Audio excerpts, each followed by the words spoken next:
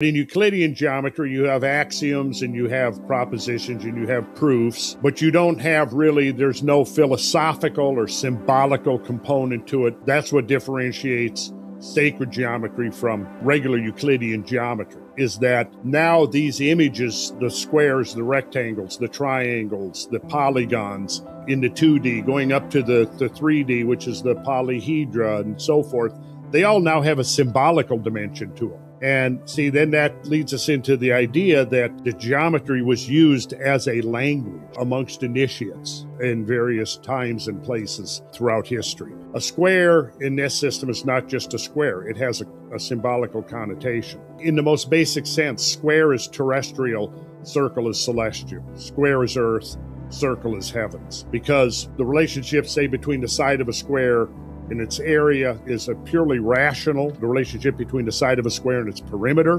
whereas in a circle, the relationship between its diameter and, and its circumference is an irrational number. And Kyle, you know that an irrational number never repeats and never terminates, right? That's what makes it unique.